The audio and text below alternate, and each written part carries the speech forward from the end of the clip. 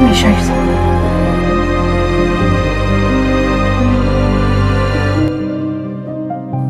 These sketches, these ain't just drawings. This is what your father wants to build for you boys.